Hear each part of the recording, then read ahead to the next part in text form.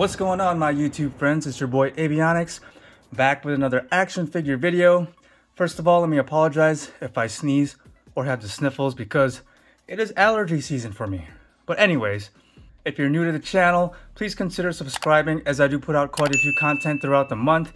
In today's video, I will be going over the early Haulathon haul I came across today, Thursday, March 17th, when tomorrow it's supposed to drop at every Target, but the target, one of the two Targets around me decided to put it out about two, three hours ago when I was there early this morning and they had nothing. So I asked the Target employee and they said the NECA vendor comes to create the end cap that everyone sees online on social media on how it's all set up.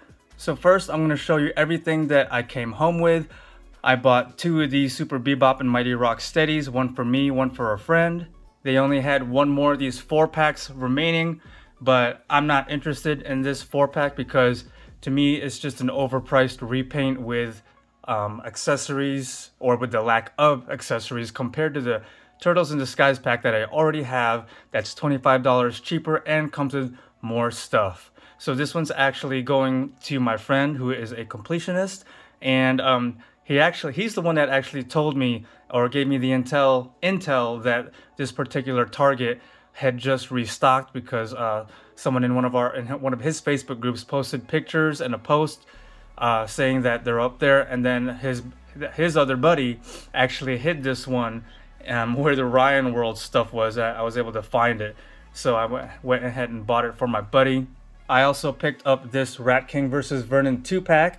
I've been needing this one to add to my NECA TMNT Toon collection and I'm I'm actually really happy that they decided to re reissue these.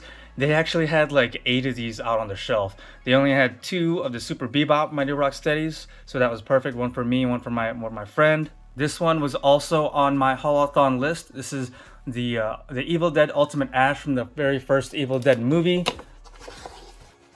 And there he is in the window. There's one more thing that I'm looking for, and it is actually the uh, NECA Back to the Future Griff Tannen. So I'm pretty sure I'll find one either online at the Target website or um, tonight my friend uh, who I got this stuff for is going to be looking at another Target. So hopefully he finds me that. That's all I needed out of this Haulathon was Super... Actually, I didn't really want Super Bebop and Mighty Rocksteady. Ultimate Evil Dead Ash and NECA Griff Tannen were my only two on my radar. But seeing this in person, I needed to get it. And then Rat King, I didn't think um, NECA was going to reissue those, so I'm glad they did, so I went ahead and picked that up too. So this video is mainly an unboxing and review of the NECA TMNT Toon Super Bebop and Mighty Rocksteady. So here they are, and they are their window display out of the cardboard box. Around the side, we have Super Bebop art, or not art, but um, a pose right there. On this side, we have Mighty Rocksteady in his pose. On the bottom, we have a barcode and I will have a DPCI in the video description below. Here on the back, it also has a stuck Immunogen Man. Pizza, um, I'm not interested in those. Pizza Monster, I have um, one of those and another one on the way from my friend who, who has an extra. And then Antrax and Scumbug, I'm not interested in them. And then here, just the, the same um, description that you see on other NECA TMNT um, action figure boxes. So let's go ahead and break these chunky metal heads. See what I did there, metalhead, out of their plastic prison and let's check them all out. For those of you that are interested in seeing what kind of cardboard insert, it is a picture of the Technodrome in the Earth's core. All right, so we have everything all out of the box. First, let's go ahead and take a look at all the different hands. So the figures come outfitted right out of the packaging with fists, a right fist and a left fist. And um, note, all the hands are all the same design and sculpt, so either hand can go on each or, or, or on any of them. So there's a total of, let's see, one, two, three, four, five, six, uh, six pairs of hands, and they're all the same really. So his other, their other right hand is this gripping right hand. And then um, just like primarily their primary paint, it's that light gray color with uh, I guess like white knuckles outlined in black. So that's how that looks. Even the inside of the thumb is painted with that toon line black. And then they both have a at rest right hand pose. And then, um, so it looks like they swivel um, horizontally. So that one is, and that one also swivels horizontally. This one looks a little chewed up right there. And then um, they have an at-rest pose left hand. Oh, what is that? It's, it's a QC issue right there. I can probably just chip that off. I mean, it's not, you're not going to see the inside really if I have them displayed. But yeah. And then they both come with another uh, left gripping hand. And yeah, they all swivel horizontally. It'd be nice if their uh, gun or trigger grip would actually um, articulate vertically to have that, you know, that aim. But uh, so those are the hands. Let's take a look at the fists real quick. All right. So starting all the way on the left, we have, okay, so you guys are gonna have to help me out with this one. Not sure what this is exactly, but um, I thought maybe it was like some kind of small little backpack, but no, it's not. So it's um, some kind of electronic device. I think they, they hold this in their hand. If anyone knows what this is, please let me know down in the comment section below and let us all know. So the back side is painted gray and then the front side is like a very light lavender paint and it looks like it has like a, a meter and we have a, like a rotary dial here and um, some buttons but yeah this is a nice little electronic sculpt of whatever this device is moving on we have what looks to be a time bomb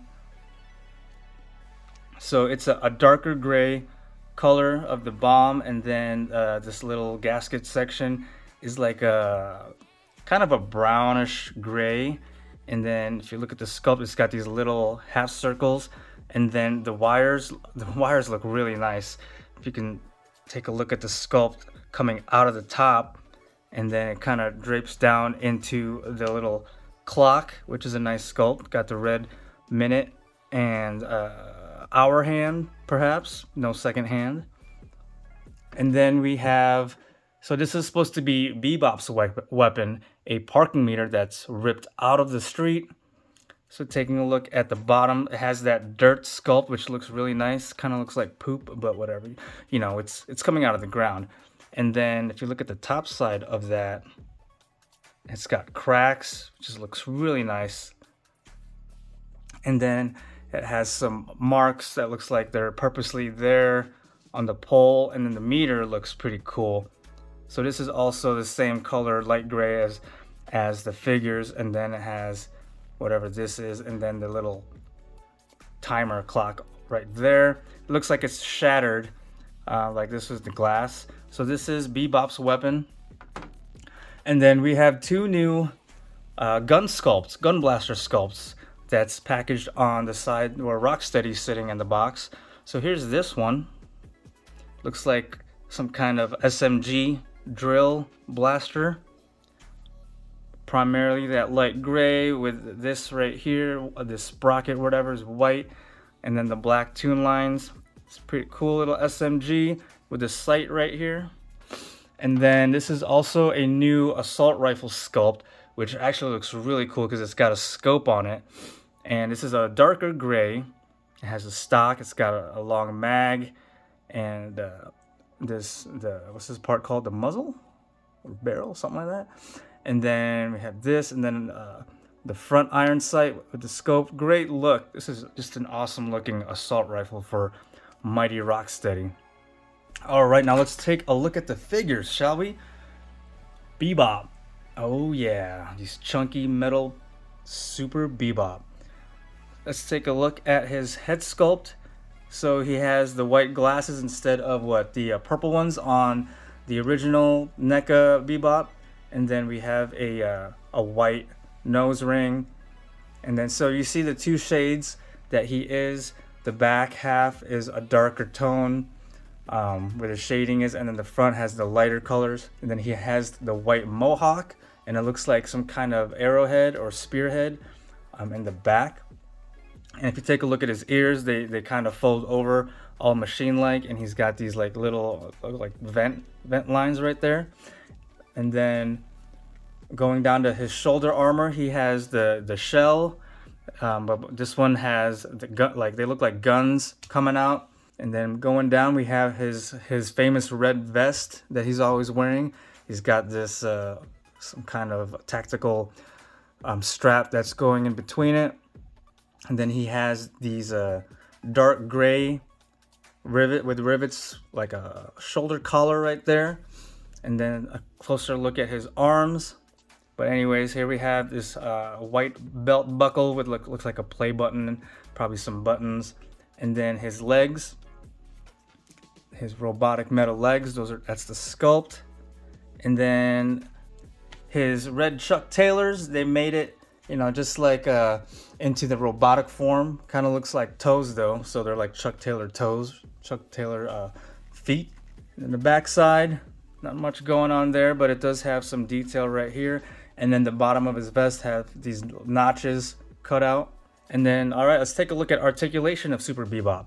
So the one uh, major articulation point that I like is his articulating jaw which is really cool. And you can see that they sculpted out a, a metal tongue in there. So that's really neat. His head is going to go all the way around. His, this, his ponytail is kind of hitting, so it would go all the way around, but I'm not going to force it. And that's as far as his head can go up, down, a little bit. Yeah, he's got some head tilt going on. All right, shoulders. So that seems like as far as they will go up laterally. Oh, that just popped off. But it pegs. Alright, so lesson learned. These can just be removed right off. That's pretty cool. And they just peg in right there. Alright, let's go ahead and take those off for the articulation uh, portion of this video. This side seems to be in pretty, pretty good. I'll just continue right where I'm at. It's not broken by any means. It's just going to peg right in. Oh, there we go. So I'll take it off, but he is going to be able to go all the way around if you have that um, shoulder pad off. And then we do have a bicep cut for bicep swivel. So his arms can go up a little bit more up laterally without the shoulder pad. And then we do have double jointed elbows right there. There he goes, flexing his left arm.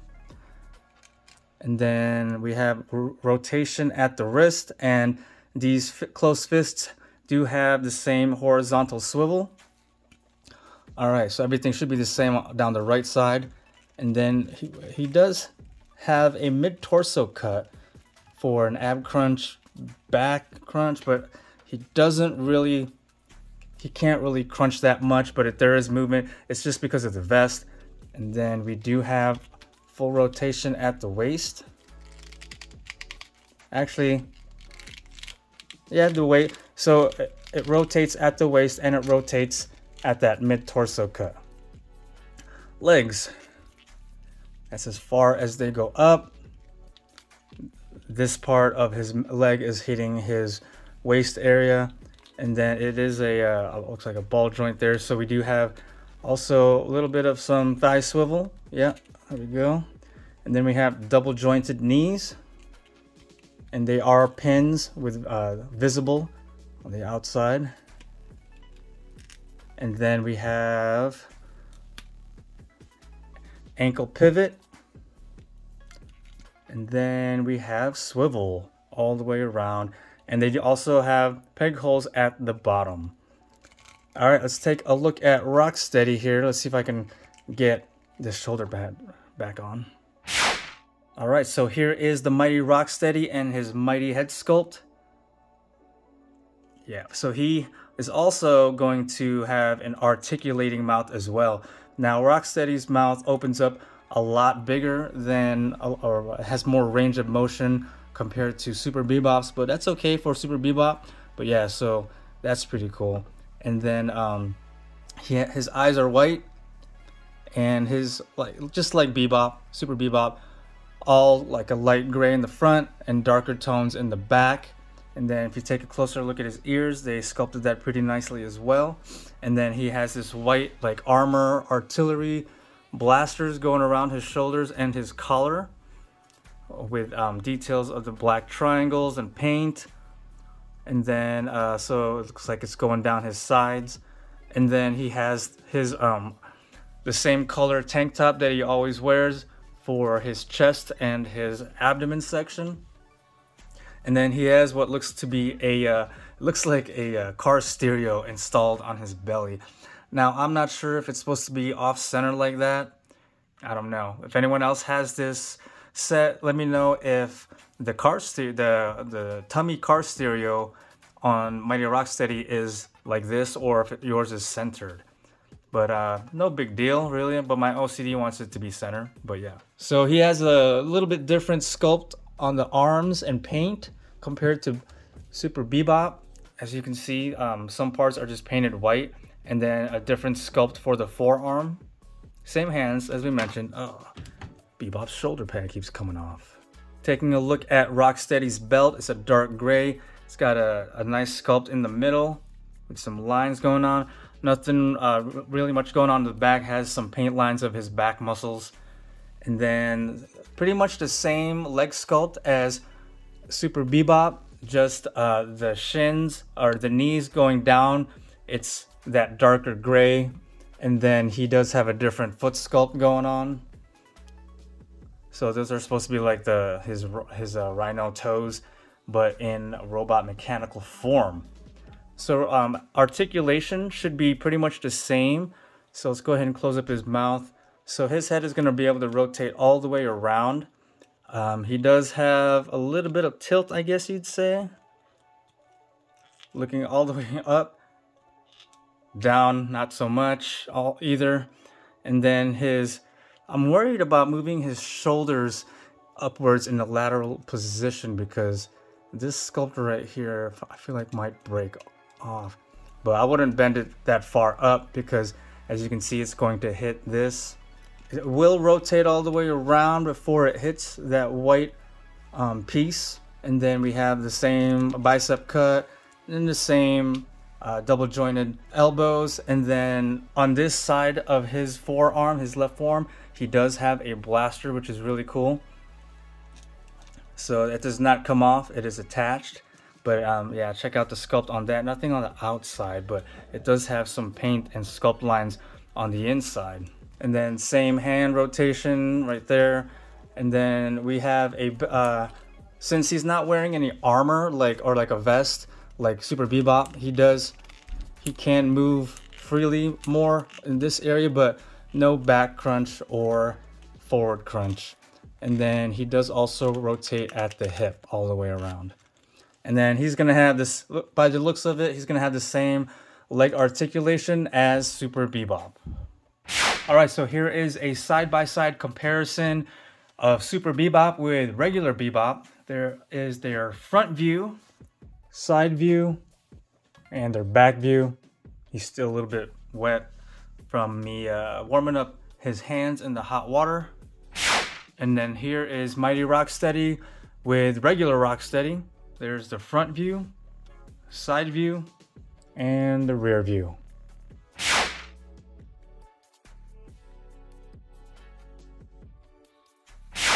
And here they are with Shredder and Ultimate Foot Soldier.